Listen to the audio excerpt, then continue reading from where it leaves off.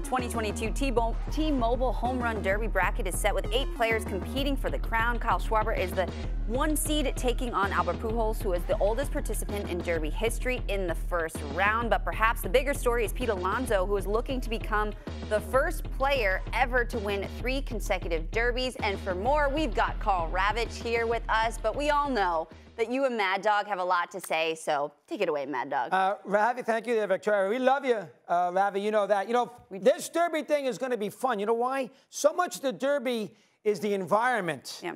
You know, Baltimore with the with the office building behind right field, and obviously yeah. with this, with the two pavilions, possible to hit the ball over the fence there good weather, the Hollywood sign. I mean, it's got a lot. It, you know, listen, I mean, part of this is the environment, and the environment here in LA on Tuesday night for this event should be great. Let's start there. Go ahead.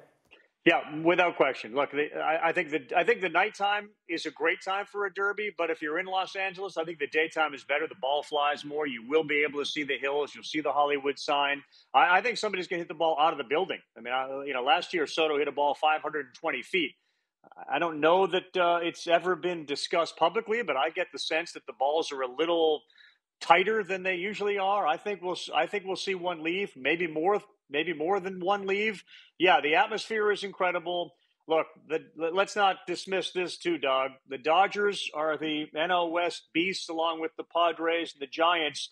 They realize Dodger fans, and that's the bulk of the people that are going to be there their chief competition this year may very well be the New York Mets and Pete Alonso. So you bring in this guy, the gladiator, into this arena where there's people kind of rooting against him. They're probably going to be rooting for Seager and Pujols a hell of a lot more than anybody that's taken on Pete Alonso. So yes, the atmosphere in Los Angeles is an ideal situation for this 2022 T-Mobile Home Run Derby.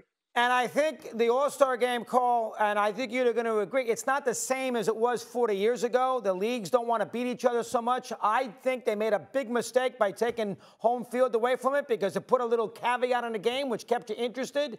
Now, after the uh, introductions, you know, you kind of lose interest in it a little bit. And the home run derby is sort of the highlight of the whole weekend. I think more people get into the home run derby on a Monday night and the way Petiti bracketed it you know, yeah. so it's a little quicker. I think they have more juice for the Monday night than they do actually for the game on Tuesday. How about that? I think there's something to it. I, I certainly think the television ratings uh, suggest that. I mean, the numbers are very close now between the Derby and the All Star game. There may come a time where the where the Derby passes the All Star game. Look, to, to me, and, and you know this as a baseball historian, the, the home run champion whether it's regular season or now you're, you're looking at the Derby as kind of the defining moment for who's the best home run hitter in the game, is like the heavyweight championship. You you win the home run derby, you can stand there like Alonso did with, with that trophy and say, I'm the guy. I am the home run derby champ. This is like Muhammad Ali once was. Nobody's better at hitting a baseball further and more often over the wall than I am. There, to me, is that component about home run derby champion. And as we watch Alonso here, look, he is trying to three-peat. No one's done that before. Griffey's won three, but never in a row. And there was no derby in 2020, but he did it in 19. He did it in 21. He's here again.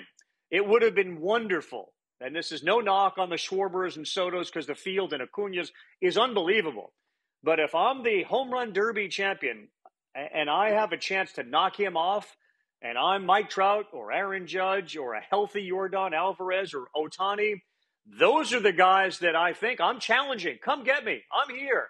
And I think to me that's that's a real significant aspect to home run derby champion. It is the heavyweight championship of the world. Like that, there's just something about that, and Alonso embraces it. Yeah. Thanks for watching ESPN on YouTube. For live streaming sports and premium content, subscribe to ESPN Plus.